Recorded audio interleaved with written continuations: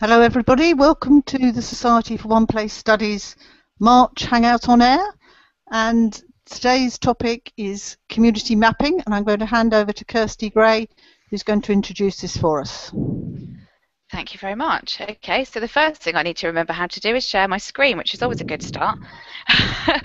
so I'll share my screen with you and start a short presentation for this evening. So if we start from the top. Okay, so can you see the screen on there? Because I only have I my see slide. the screen, but I see your entire presentation. So you're going to go from the beginning?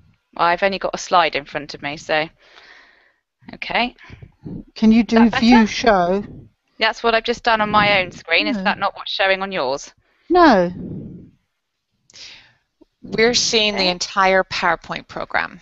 Okay, let's try again. Well, I've I've just done it on my own screen, so if I All right. go from the beginning or from current slide, I've only got one slide on my screen at the moment. All So right, are you we'll just have to do it sharing? that way. One quick question. Are you sharing Yeah. the right screen from the screen share? That's the only Yep. question. Okay. Yep, I've undone it now. but I will go back and I'll try Okay. it again. I can screen share okay, but it doesn't seem to want to, to share the entire thing. So I think we'll just have to do it like that. They're quite big, so it shouldn't be a problem, hopefully. All right. So if I share it and just make the slide a little bit bigger, how's that? Okay. And then go back to screen sharing. The technology is always wonderful, isn't it? Let's try again. There we are. Hopefully that's a little bit better. That a little bit bigger? Yes. Wonderful. Okie dokes. I can even make the slides a little bit bigger there as well. There we are. Okay, so um, this evening's hangout, or this evening for me anyway, um, is about community mapping in your one place study. So um, I think we'll start sort of talking about maps. Obviously, maps have um, a wide range in applications across lots of different aspects of one place studies, um, from aids in locating particular individuals or places within a community to presenting data or investigations and results, mapping is really an essential tool um, to create an image or an impression of your place at a particular point in time, or if you want to make a comparison, perhaps over the centuries. We're really fortunate nowadays not only to have lots of data online, but also to have lots of published maps, whether it's on paper or CD or, or online, as well as programs that can actually make uh, maps, so sort of self-production of maps.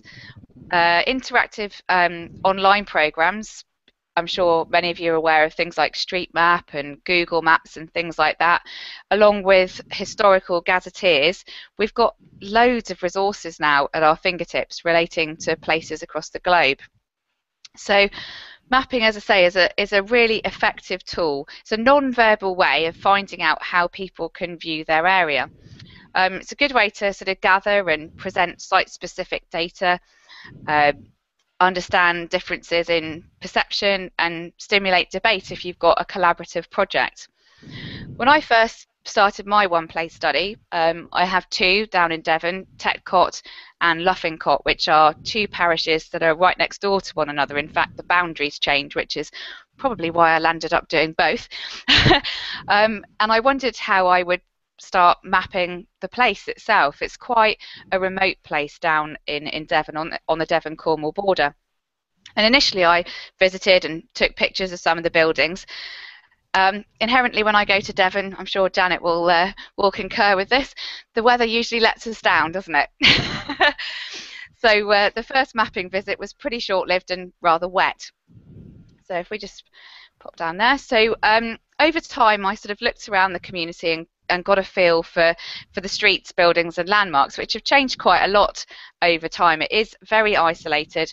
Um, my my two parishes they're very very isolated. And although there was once a pub and a school and things like that, the buildings are still there, but they're not used for for pubs or or schools at all anymore. So as I say, over time I looked around the community to get a feel for those buildings, streets, and landmarks, and it was really important to me to have a, a firm grasp on, on my community before I started creating uh, a, a sort of a, a map of the location.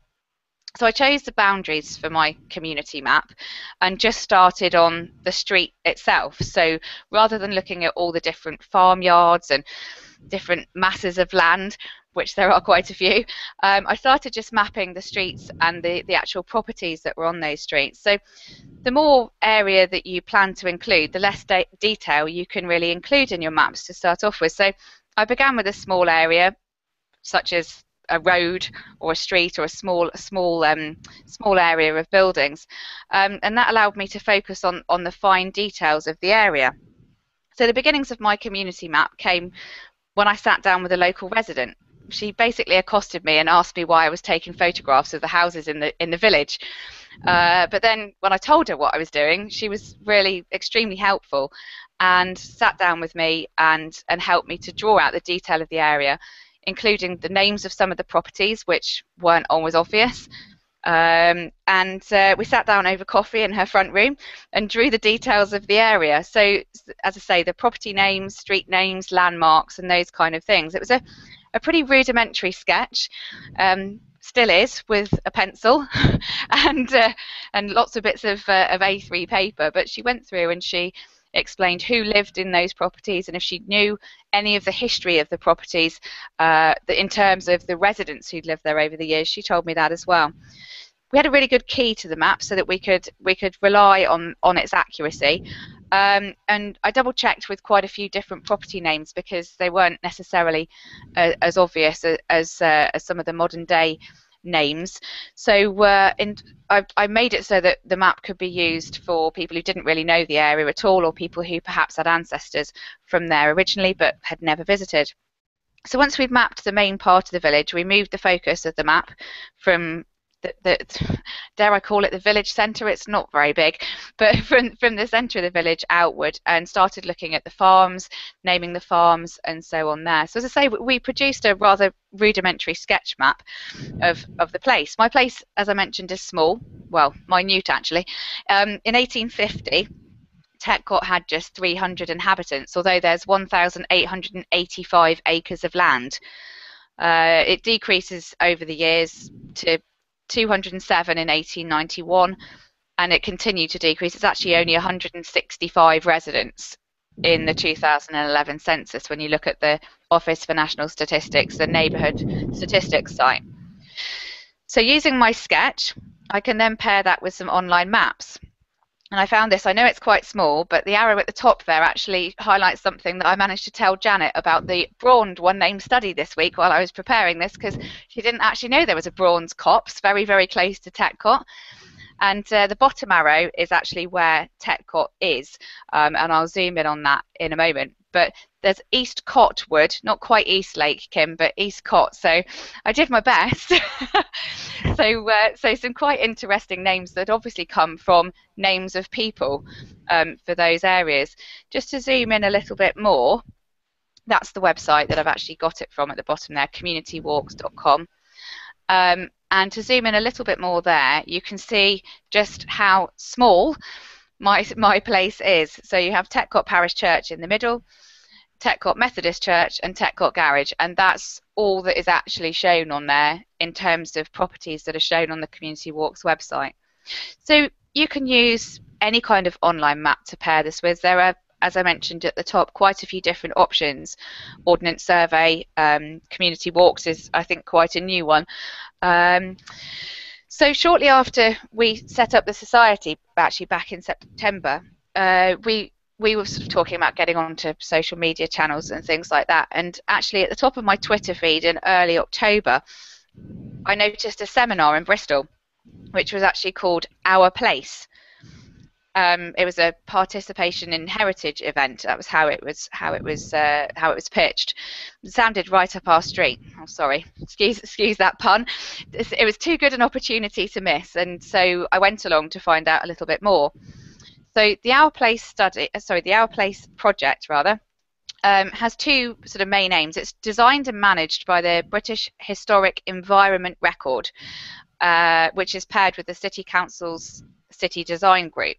The project's funded actually by English, the English Heritage, and is run in partnership with um, Richard Guise and James Webb. They're two designers who work with Context 4D, a company in Bristol. The project's got these two aims to test a model approach that enables communities to identify and map the character of their local area and to embed local understanding of character and wide community engagement in any oh, any future. I've lost my lost my screen now. I hope you've still got it. There we go. Wide community engagement in any future planning or design process.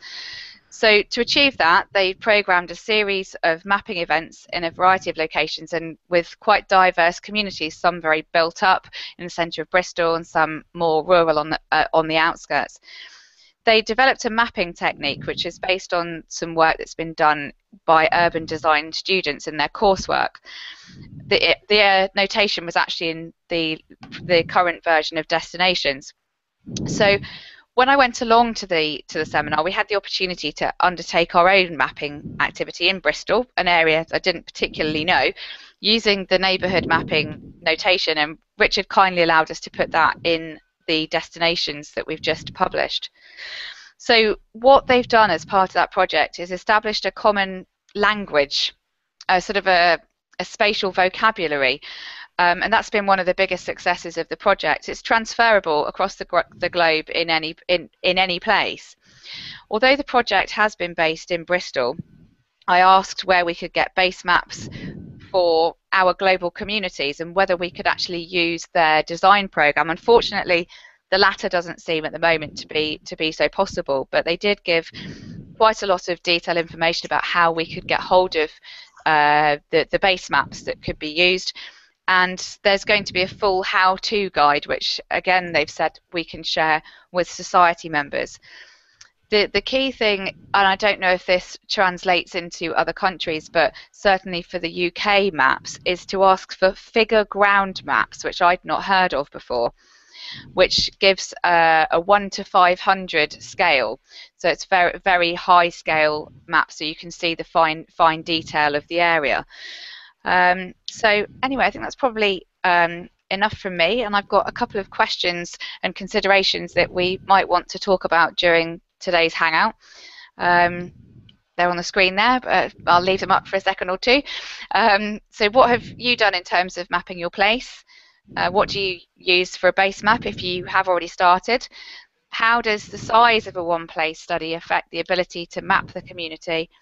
And how can you map the inhabitants of your place over time? So perhaps a, a couple of questions for us to consider and discuss. Right, thank you very much, Kirsty. Shall I leave those up in the background so that we can talk talk yes, over them rather than seeing me?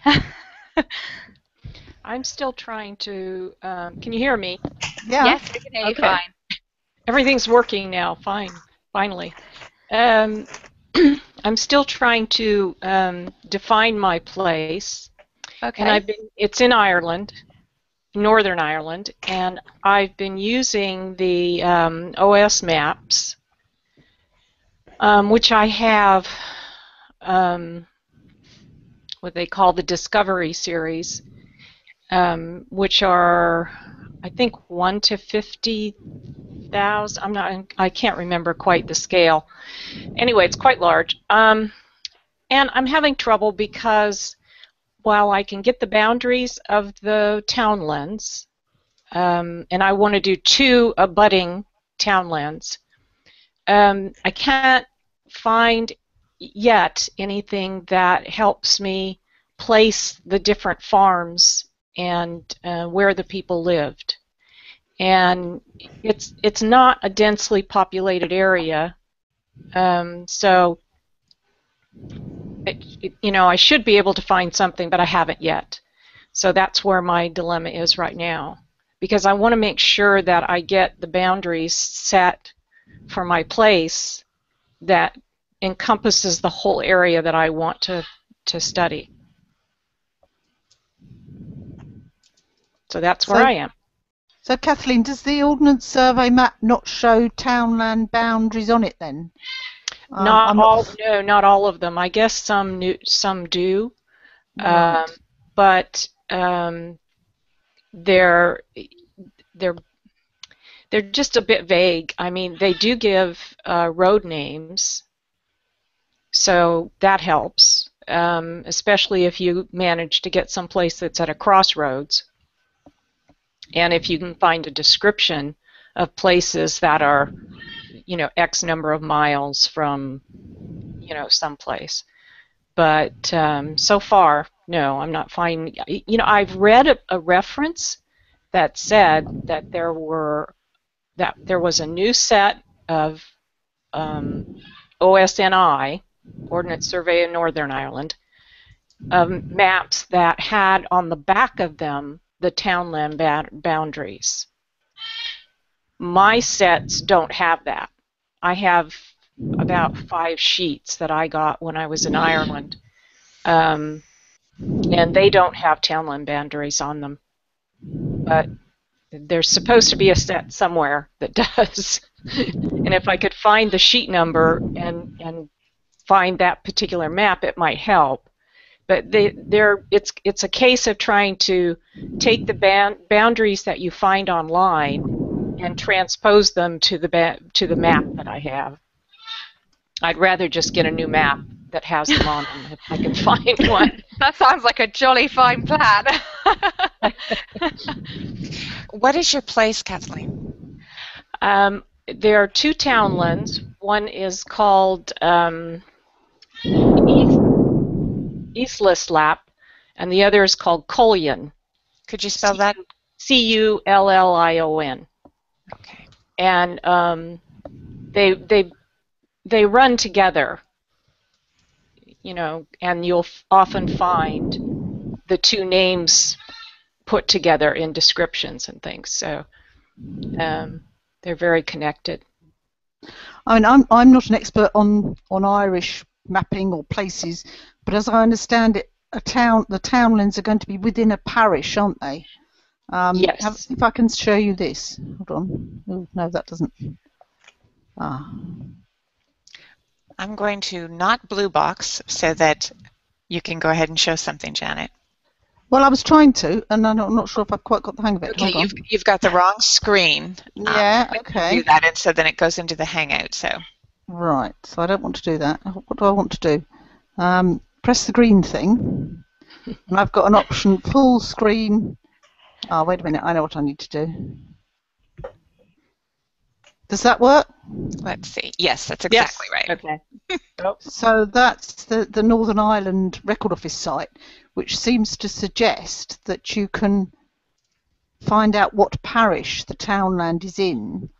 Um, and I would guess that the parish boundaries are shown on the Ordnance Survey map. They certainly are in, in England, Wales, and Scotland. Um, Yes. It's, it's a sort of dotted line of, of some kind that will give Um, you the parish boundary. Let me let me just grab one and I'll describe to you what's on there.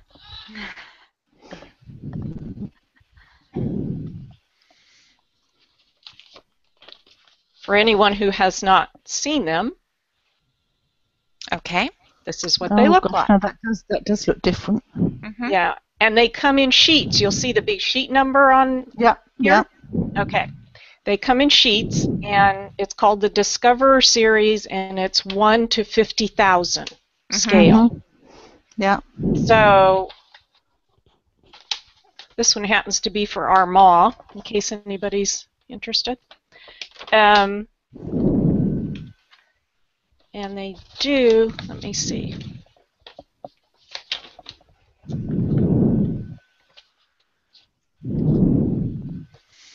I do not see the, um, not on these. They don't have the parish marks. Right. You kind of just have to go on the area that you're searching for Mm-hmm. So and in the out what sheet they're on. in the key, there isn't a, a notation for different boundaries. Then, Um, because there certainly is on the the rest of Britain. They don't have. They have an index, which gives you the sheet number. They have a, a grid reference system to explain the grid. And boundaries. They have uh, international, county, uh, LGD, no idea. Not sure what LGD is. Legend? Something's That's No, legend, I thought, but okay, go ahead. No, it's LGD, Okay. separate, um, like an local acronym. government district. Okay. There you Ah, go. Ah, very There good. you go. So that might be the um, That'll be some kind of administrative Right, council yeah. Mhm. thing rather than a.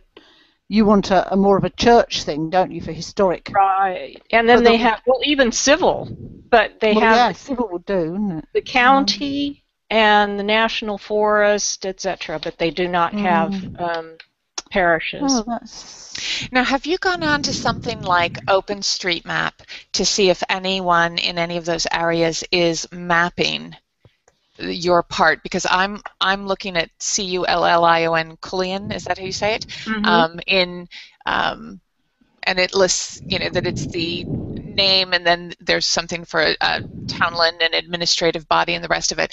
And it looks like someone is mapping there but they've they've mapped areas that are coming up upon your place but not your place it's it's got a big um, boundary around it actually and what um, is this called? This called is called Open Street. street map and it's all together o-p-e-n-s-t-r-e-e-t Okay. map.org and the reason that i mention this is and i was going to ask kirsty and janet because they'll probably know about this if you use something like ordnance survey or google maps and you add to it. You know you put your own information in and you layer it and all of that.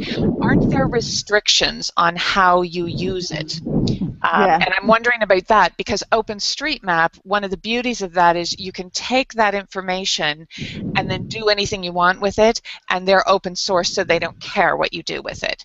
It's And a, is I'm it just- under like a common? Um, It's Creative Commons, and there's a whole Commons. explanation about it. But they're they're mapping all over the place, all over the world, supposedly, and doing this that particular way because they are concerned about, you know, either Google or Ordnance or whoever this is being concerned about their ownership. And I'm just wondering, has that even come into things, or if you've been drawing them, you won't have that problem. But how does it work? no, Well, I haven't. I didn't know about that site. I have looked at some of the ones. There's one I think it's called Geograph that people are photographing um, the survey maps The actually. UK and Ireland. Right. And I've get I've got a lot of photos from there. That's it's great. Hmm And certainly there is there is very very strict copyright on ordnance survey maps. People are Mm. quite paranoid even about using a little small section out of them. hmm Um, I have just found something else that looked useful, but it appears to be not available at this at this current time. Um, Isn't that always the case? Isn't that always the case? Yes. Hold on. We will bring it up. All right, and what Irish you all need to do, you're, you're do, yes, that's the right screen to share. Um, the most important map collection ever published. The Irish townland maps are packed with detail. Um, and then it says, when them maps are available again, we will contact you.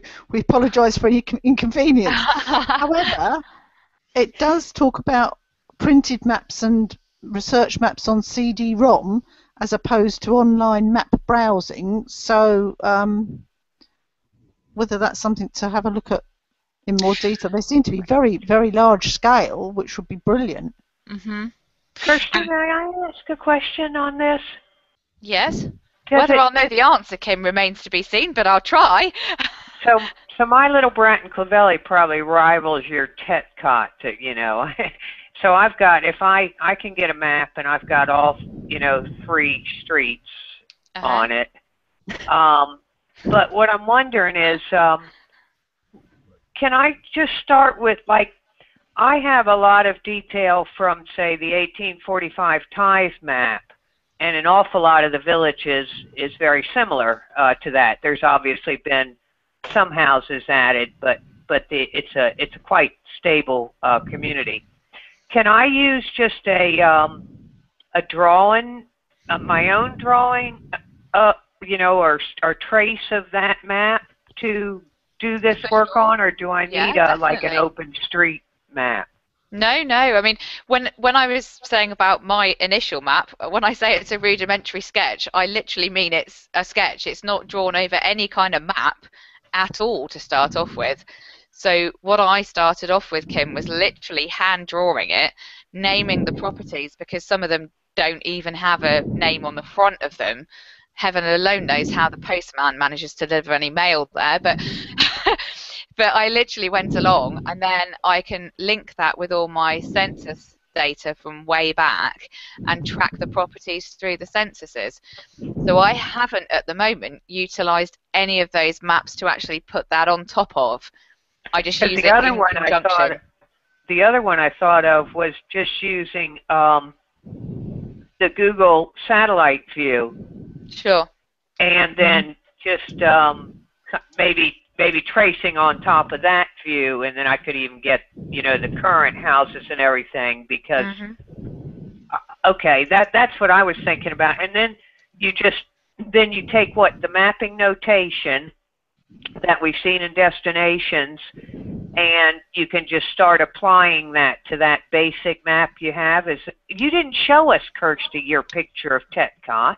No, it's I, I haven't even scanned it in. Oh, okay. It's literally pen and paper. oh, you Let me can take hold this off so you can actually see me. There you go. I'm back.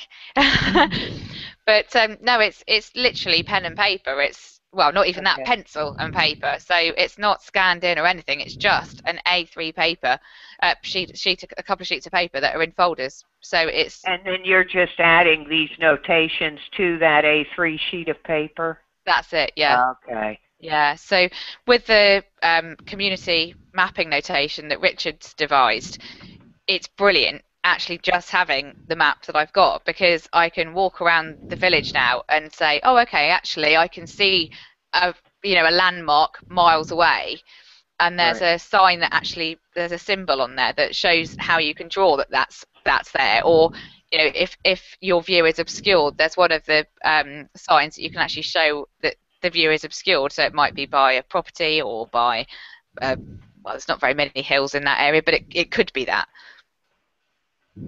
And when you're doing that, you saw it applied in Bristol to current development planning. Yeah. Um, what are you in for when you're walking around Tetcott looking looking at stuff? What what what what perspective are you coming from? What are you trying to? I'm trying to do it so that eventually it will be in a position that I can actually pass it on to somebody else. So my vision is in the end I'll end up with something that's in InDesign or something like that that's you know in a software package that I can actually put it all together so that people who have ancestors from Tetcott that live in Australia or New Zealand or whatever um, can actually see what it's like by looking at my map. And are you layering the maps? Are you because I know you you all have all of this information from various censuses. Are you doing something like this is what it looked like in 1880, this is what it looked like in 1900?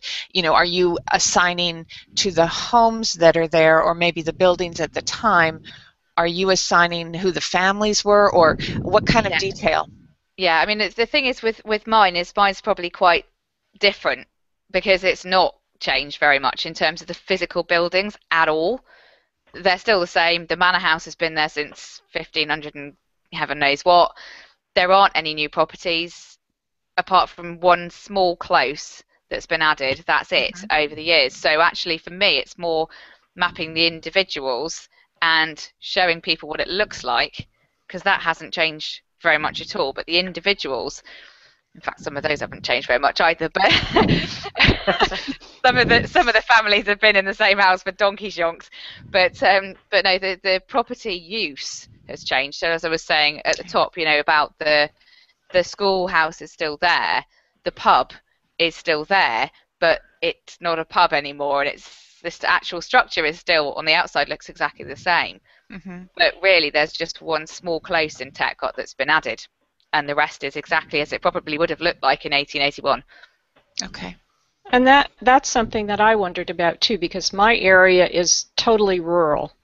Um, so there won't be any businesses or anything. There there will be the occasional school or chapel or church, um, but that's that's about it. And I, I had looked at first as doing the parish, um, which is called Cappagh, and it's a very old parish. Um, and I found online that there's actually a Cappagh Historical Society, and Oh, I've made brilliant. and I've made contact with them, um, parti- particularly one fellow who happened to have ancestors in some of the townlands where my ancestors lived. And so we've struck up a, a conversation. But Cappagh is just, it's rather large. And I thought to Right. start with that right off the bat was just too much. It's Mm. just too oh, much. I to agree, take on. Kathleen. Yeah, what I was Right. saying, start small. So I wanted to start with um, I wanted to start with an area where I have I had ancestors that I that are a total brick, brick wall for me. I cannot make any connections and and find out you know anything about them.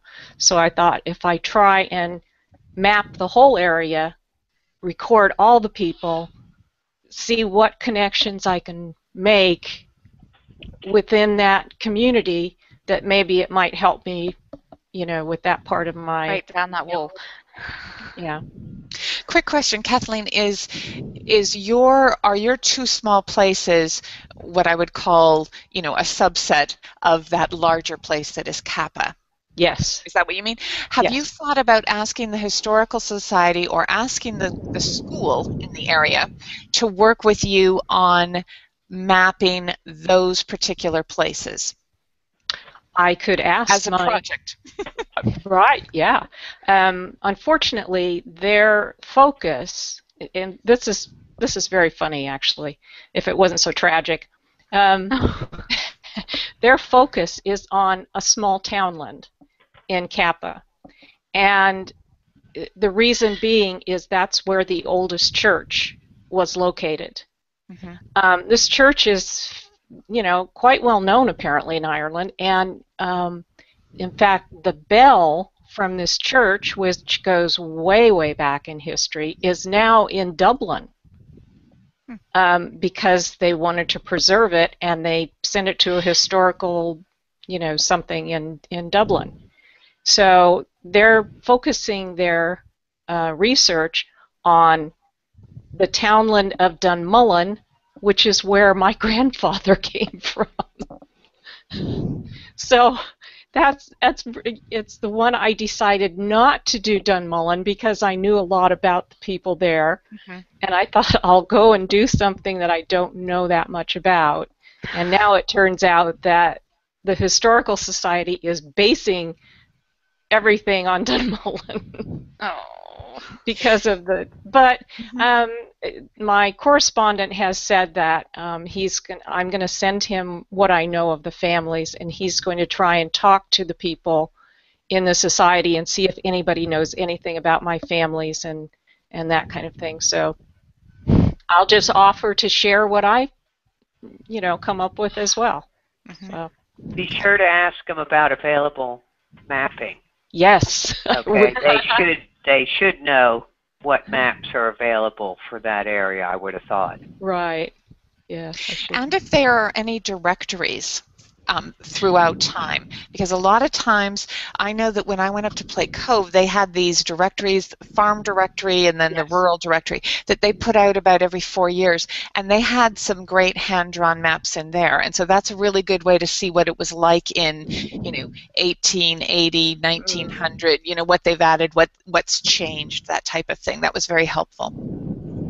Has anybody used the uh, property ads in the papers to figure out what new building has uh, taken place, say, in the 20th century? I was thinking of trying to focus. I don't have a lot. I'm kind of like you guys, you know, a few new closes, but that's about it. But uh, but I thought I I Well, should see them somewhere I do advertised. Sometimes, sometimes when I do a search on my townland or something, I will come up with ads for new homes, and I, I kind of glance at them and see if there's anything, you know, mentioning, you know, uh, historical placement or anything like that. But I haven't been so lucky yet. Um, Janet, could you speak a little bit about? Um, I know that you've written you know one section of your book involves mapping. And i know that something else i happened to see online was something we don't have over here and i wish we did. I think it's called acorn clubs um, where, where they get the children involved.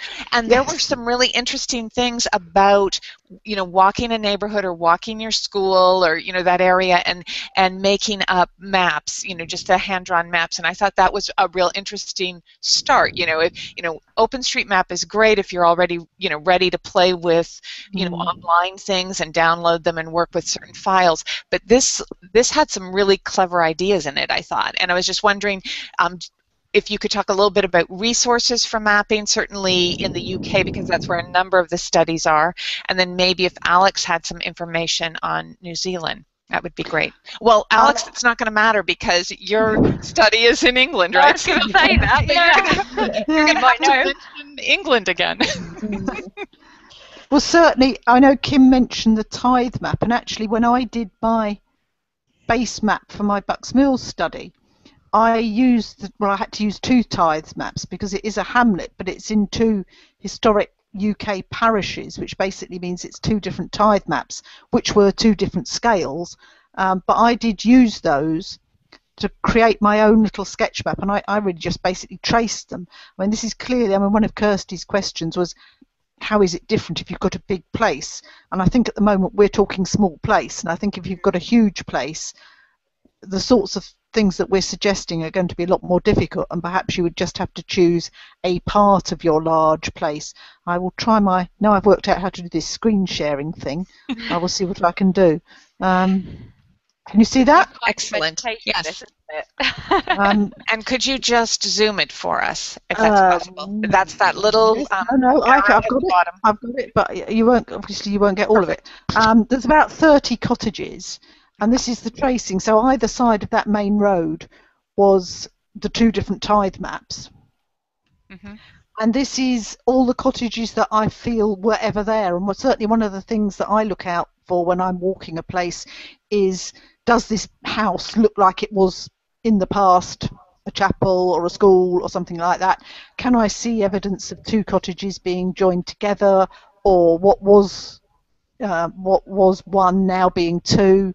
Uh, and then I try and date them if I can using documentary evidence and architectural styles and all sorts of different things. So this is, I mean, this is a, a one-place study that's fairly advanced and I've been doing for a very long time. And because it's such a tiny place, I've got quite a long way with it. So I've tried, as you see, to sort of scribble on here um, just to indicate where various buildings have gone now, like in the sea or burnt down. Um, and there's one that was a shop there. Um, so that's where I've come from with that. But that was certainly me tracing the tithe maps and then walking up and down and seeing what was and wasn't there now. But like Kirsty's, these things haven't actually changed very much. Mm. Um, so it does I've make it, you know. Something quite similar. Uh, I might, if I could just try and and uh, share it. But I've never shared before either. And, so. and while you're sharing, I just have a quick question with that for Janet is, do you also take pictures of these places yes. or, you know, uh, chat up the people who live there? Okay. Mm, yeah, yeah. I mean, I, I have, um, my policy is to, to hide and put the camera on Zoom and, and run away quickly. Um, I have a friend who accompanies me whose policy is to bang on the door and, and say, do you mind do you mind us taking a picture of your house and then it mm-hmm. turns out he went to school with them and two hours later i get away and usually he's in the meantime promised oh that i will gosh. provide them with a complete residential history of their of their property so it's not always the best plan but but yes okay. no I, I, take pictures at the same time that's excellent okay i go for the middle of that i don't knock on the doors but i don't hide and then i just get accosted by people who say yes. why are you taking a photograph of my cottage mm-hmm. okay worked I had, for me. I had a, one of my cousins from New Zealand did that when she went to Ireland, um, and she found this little nest of, you know, areas farms where our ancestors lived, and um, she she did go up and and talk to people all over the place. She said she, she said they were just so I mean, they're wonderful. The Irish. When you when you go and say you're looking for where your ancestors are, they just bend over backwards. Mm-hmm and um, they did this, and it ended up that they had one little outbuilding that was part of the old farm that our ancestors had. And she got a picture of that, and that was about the best Oh, she could brilliant. do. But but it was wonderful talking to the people because otherwise she would never have known that that little place, that little sh- you know shamble of a of a shed, had anything to do with the farm. Mm. Okay, Kim. Wow, I Kim, think that's you- amazing. Yes. Now I've got something that's quite similar to Janet. Wow. No, And, no, Kim um, is so not no, similar to no. mine. This is infinitely superior to mine. Could you zoom it and then walk us through it? That would be great. Uh, could I zoom in on it? Let's see Um, here. control plus plus if you're on Windows. Something like Oh, that. Look at Does you. Excellent. that better? Excellent. Very Oh, good. Wow. And That's then um, amazing. Let's say, uh, well, let me just find the one I was on because oh, well, there's the old post office. So I had traced this from the tithe map and um, taken the uh, the tithe uh, assessments, the owners and tenants, and then um, I had a contact in the village who helped me to map these things to their modern names. Now this oh, map is mainly what's in the tithe map rather than any of the new places because I know like right up here uh, there's some new houses and this is the village hall now. So there's things that would be in the modern one and what I'm trying to do is now think hard about how um, would I apply the um, mapping notation Mm. you know, uh, and build on on this kind of understanding because to a great extent the village is very similar. Um, Mm. you know, I mean, like this one down here, there's an open field now instead of that that particular Modern name, type of image. open field. I love it. Yeah, yeah. But um, but anyway, that's what I was. Um, I'm going to try and come off this screen share now. Um, That's brilliant, Kim. That's Am what I- do you am I do the? Is screen? that No, but if you just click on your green screen share Oh, again, it should it. bring it Okay. off. Perfect. Okay, how What did you you put that that together, What- Kim? Sorry. what's We that? Sorry, want we're saying the same thing anyway. How did you put that together? Um, what program or how did you work with it? Oh, it was uh it was um I I did it on my website. It was um I had traced it. I took the tithes maps and um Kirsty, I also have actually I had three tithes maps and to get them on CD at 20 pounds of tithes map, I couldn't believe it, but I have two detached parts of my parish and then they give the map that shows the part in between. So so anyway, but I um, took those and, and traced those and made that map just of the village, um, not um, Kathleen the the widespread farms because my parish is eight thousand acres and it's you know got you know about like one person per you know six inches of map or something. But uh, but anyway, um, and I just traced them and then I um, I kind of uh, just scanned that and and put it online and put it into my website and uh, used a, a, a plugin that's actually, you know, the sort of things you use to put captions on photos. Yeah, it's exactly that. It's basically a cap, you know, where you can write the names of people on your on your photos and stuff. You can I label don't know photos. what does it. I know what you. I know what you mean, Yeah. but I don't know how to do So it. So there's a little plug-in for WordPress that will allow you to do oh, that. And I, so I kind of treated it as just a picture and put them on. But now what I'm really interested in is thinking about, okay, now I've got this mapping notation that I've seen in destinations, and I'm trying to think, okay, where do I go with this? How do I make use of this? I've got some basic maps, and I've got the bigger one that shows all the farms, you know, at, at a, you know, at a, at a higher scale. But um, um, what do I do with that? Where do I go with that? Do you have in your area, Kim, enough of those items that are listed in those notations? Because the one thing I noticed was, you know, if you were in a farm area, you could have all of those notations for trees and hills and mountains or whatever, and that's great, but, you know, that would be it. If you're in a in a town, you'd have the school and the and the houses and the whatever else. So they could be two very different things depending on what kind of a place you're mapping. And so I was wondering, do you have a combination? Do you have farming and a village, so to speak, you know, or or Yeah. a city Got or a whatever you want to call it? Little village with um, a couple of schools that are no longer used, and a church that is, and village hall, and and things like that. And So then, do you got- want to blow them up? You know, you you have a great map there, but do you want to do exactly what they do with the ordnance survey, which is, you know, put it into quadrants or something so that you could go into more detail on your place? Um, I think I think I'd like to do that. Yeah, I think that makes a lot of sense to me because you you know, I would for that map I was trying to show the the, the nucleus of the village on one screen. Mm. Um, but now I want to really get in detail, and there are things like a, a little village green and the war memorial, and you know, trees and and footpaths and and all those sorts of things around that village. So, so uh, yeah, I guess I'd blow it up and um, and um, then try and find a way. I I guess Kirsty, right now, all we can really do is kind of draw those things on on those maps, isn't it? Yeah, I mean, ideally, when the city design group that are working on the Bristol project at the moment, when their software is kind of at a certain point, there there may be a, a potential to roll out, but I think at the moment it's they're focused on Bristol. It's the city design group is based at the city council offices. It's with the planning department there. It's it's really, you know, they're they're not willing to to look at wider um, wider work on it at the moment. But they didn't rule it out when I spoke to them. It's just that that's their focus for now. Um, but Has anybody really, here, has Go on. anybody on this uh, um, talk uh, tried to apply some of that notation? I would just love to see a couple sample maps, yeah, you know, with people trying these things out. Maybe we could put up someplace where if people tried them out, we could share them somewhere or something Yeah, like put it- that. And on the quick- website somewhere and a maybe. quick Yeah. question, Kirsty, is could Yeah. you know? I don't know how they're how they're allowing us to use it. You know, is it allowing us to see something? Is it allowing us to draw something? Or could you make tiles of those individual things and put them on, you know, as in a PDF or something on your own map? How they're allowing us to use what the no- the notation. The notations. We're allowed. We've been allowed to publish it to the society to our members, so in destinations, and then as long as the copyright is recognised, as is in the top um, Mhm. right-hand corner, I think he, we even included that obviously in destinations.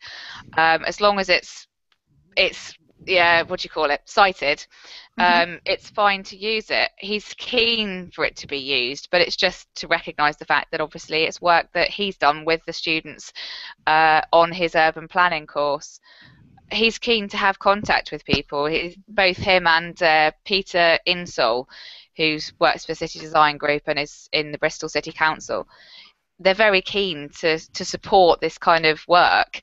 It's just the fact that the software that they're designing at the moment they're not they're not eh, you know in a position to kind of roll it out in a more wide sort of community. Right. But Well, yeah, then one we- thing you might want to think about, Kim, and, and this might be something we play with, because I, I had looked at the OpenStreetMap and, and all of that, is is to make tiles of those notations Mhm. that you put on your map when you've got the larger quadrants so something can actually fit on because if they're too small you won't know why you had them there um, and then as long as the citation to those tiles which is the notation and you'd have the key or the legend um, Mhm. that that should work um, So we make just kind of like little clip art out of it, uh, Right. out of those. Uh, and yeah. when you're when you're walking it you could just draw the number that goes with it so you're not drawing a tree you know everywhere you go or something but if you if you drew number one number seven number nine and then you assign those tiles the number and put them on your drawing that might be one way to approach it. Right. it's always hard to go backwards from computer generated stuff to the drawing but once you walk it um, i just walked in longview the other day just to kind of get an idea and i thought oh each of these benches around the lake has a plaque on it. You know something i never noticed before until you're really acting like a detective. So the thing i thought was useful and i asked at the grade school was if the kids would be interested at all in doing that as a project. You know they know their own homes they know their neighbors they want to put their school up there you know and, and they find things that you wouldn't even think of. Um, so it was kind of interesting. They were like well that would be a great project because then the math teacher was going to say what's the distance you know had all these other ideas to use with it after. Yeah, it was really interesting just going around for the first time because I managed to amazingly, randomly, just hook up with two people who'd already used the notation. And so walked around with the two of them and me. So and I don't know how it worked. I just sat next to them in the seminar in the morning. They mm-hmm. happened to be in the same group, and I just stood with them, and we got paired or you know put in a three together when we went round, and it was brilliant because they'd already done it. So they were able to kind of go and look over there, or oh, and look at that, and it's all sorts of things like the levels of the ground you know, and how, how the, the pavement changes, because in Bristol it changed, changed from cobble to a tarmac surface. So it's even looking at the changes in the surface from one street to the next, or some of the fascias on the on the fronts of the buildings were really different. And I probably wouldn't have picked those up, not being from Bristol and not having used it. So it's really, really useful. So I definitely recommend doing it with other people. I had a feeling looking at the notation, Kirsty, mm-hmm. I think I recollect something about something like roof lines and the like, yeah. and I thought, I think I'd, it would make me look at things very differently and notice different things. But what I probably didn't get into the detail yet, I, I haven't tried it, is things like, like in Bratton Clovelly, oh boy, the hedge, the banks along the lanes and stuff are really, really quite spectacular in places. You know, mm-hmm. I think about like 2,000 years spectacular or something. I'm not sure, but uh, but um, I, I don't didn't know eh, because that the notation had really been developed for more of a Bristol or a town setting. I didn't know if it was how how it felt for a more rural area. No, I don't think so. I mean, from from the study, I mean, there's a project report. They've done it in quite a few different places, and some of them are more rural, some of them are more built up.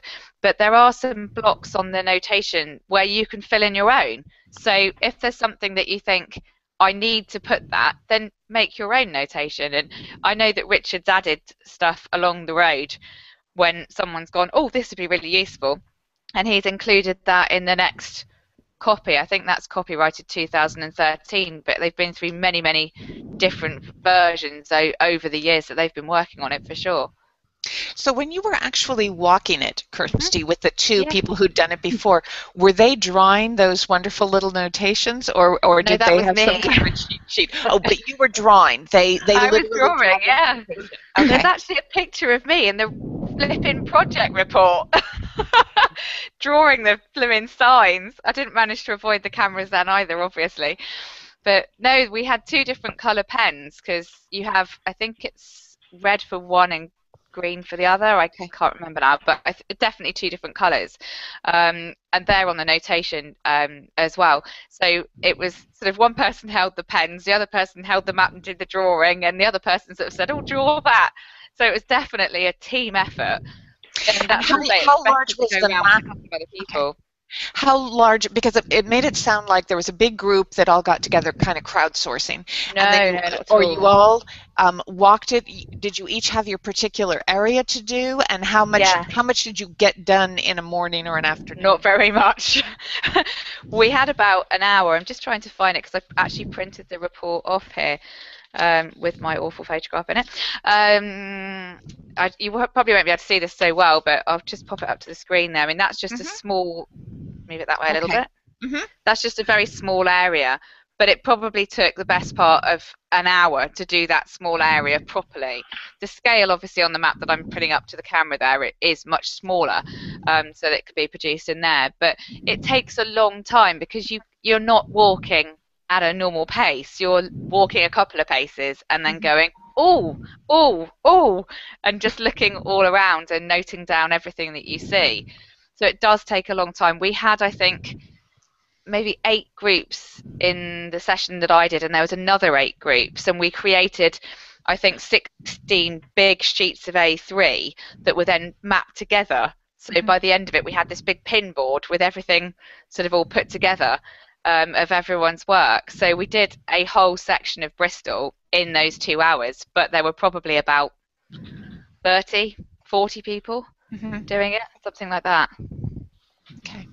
Um, speaking of when we were speaking of sharing things and getting other people to um, uh, give you information, has anybody tried? There's a website, and I, I can't remember the exact name of it. It's something to do with encounters and what it is is a mapping site, and they they actually opened it up and, and made some special um, options for genealogists because they found that it was so popular with them. Mm. And what you can do is go and input um, specific points on a map with the information of what what happened there, what you know, what it was, um, anything like that, and you can keep the map private or you can open it up to the public, Okay.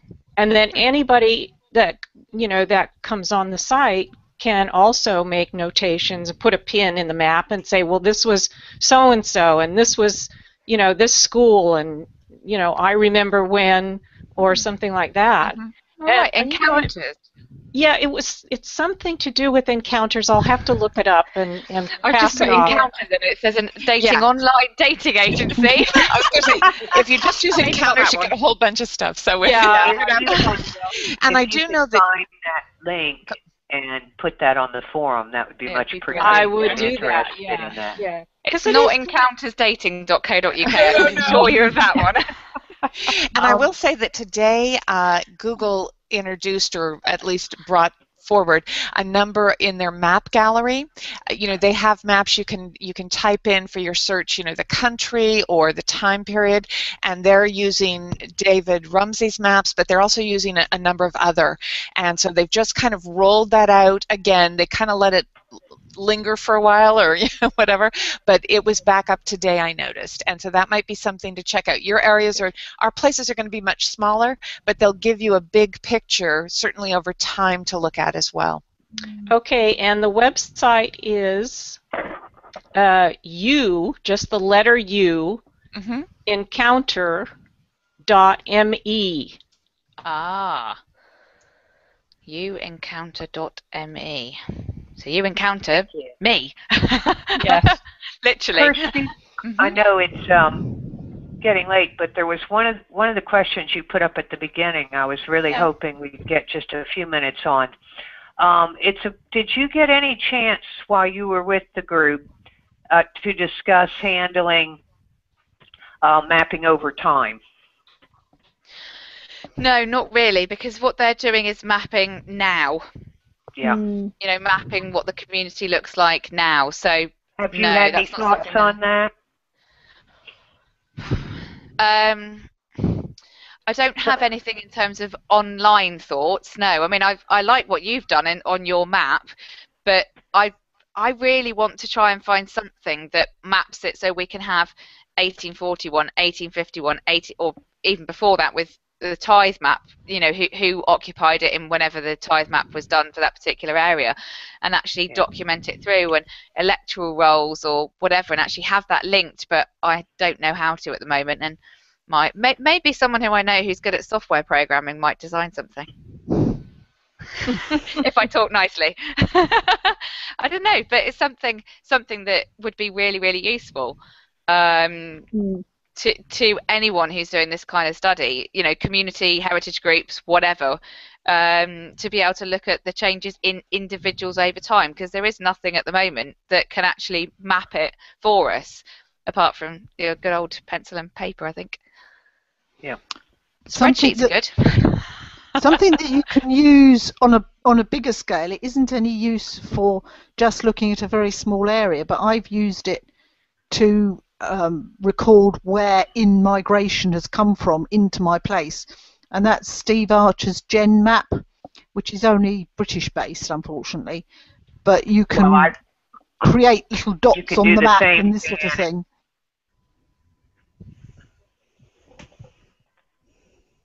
We're losing Kim there. oh yeah, Yeah. i didn't hear what kim said No. you can do the same thing with and we don't know we'll have to find out so you use genmap for that Yes, yes, and that's it's- uk it's- based okay Yeah, yeah. all right But it, it is definitely. It's oh, you can do the same thing with um, map. mo- we, we want you you can do the same thing with said. something, but it cuts out at the vital Can point. you, need- you Can need you to type, type. it into chat? Type it, Kim. I have Family used Map My Family Tree, tree for and worldwide basis. Yeah, It's got a filter, and you can just change it to whatever date range. And I use that for a lot of mapping migration. Okay, That's something to keep in mind. Now, we have a number of people who um, have been watching and I've been trying to kind of keep up with both the YouTube side as well as the community. Um, the one comment that I would make is if you are not in the community, um, what happens is we put this notice out to everyone. So we, we put it out publicly and we put it out to community. And if you're not a member of the community, um, I enter as um, the Society for One Place Studies. You see that little brown item up there. But I enter as that so that the recording can go onto our YouTube website. So if you're not in the community, I'm not able to invite you from here. And that might be the problem some people have had, not all of them. But if you're joining on the public side, mm-hmm. sometimes I can't get you in. So we're going to play a little bit more with Google to make sure that next month we're able to get the people who are in the community as well as public into the panel.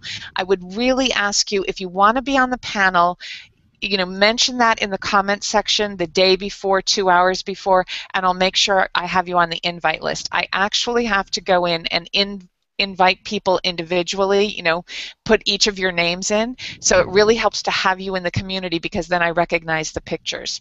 Um, I guess between Kirsty and Janet, if you want to go ahead and wrap up, if you have any comments, we'll try and put, well, we won't try, we will, put on the, our, probably as a blog summary within the next week any of the websites that we mentioned so that you could find them that you know we've talked about today as well as I would say once we've put that summary up go ahead and post comments in that blog post. Mm-hmm. if you have any sites that you would suggest to us or if you know of a program that we haven't heard of that would be great to know. So now I'm going to turn it over to Kirsty first to see if there's anything else you wanted to add and then Janet you can close out for us I don't think there's an enormous amount more to add. I think the crucial part really is to have a look at destinations and look at the community mapping notation and have a go.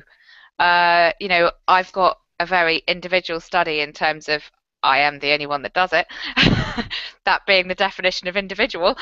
Um, but it's it's very interesting when you start walking around, even now, when people do actually know who I am and recognise me when I go down there people still want to know what you're doing and actually do want to engage with what you're doing, even though they might not want to put the effort in you know longer term. They'll walk around with you with the map and kind of go oh so what are you doing? And you know and it's that kind of collaboration. And i think that's the crucial part of what we're trying to do as one place studies. So i'd say just have a go.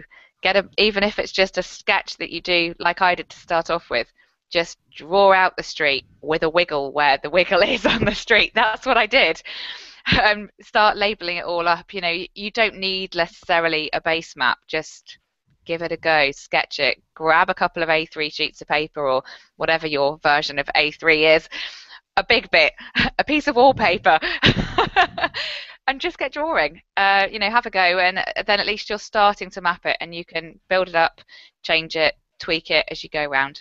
Okay. That's all from me. Great. And Janet. Right, well, thank you very much, Kirsty, and thank you for those of us who've joined in on the panel or listening in in real time or, or later on. I suspect what we might also do is perhaps open up a, a discussion on the forum about this topic, and then people can contribute in that way, and I think that would be quite a, quite a good idea. So we hope to see you all again next month. Um, I complete, completely have no idea what we're talking about next month, but I'm sure I should have. But we will be giving you all the the usual notifications in good time. So hopefully you'll be able to join us then. Thank you very much, everybody. Good night. Good morning. Good afternoon.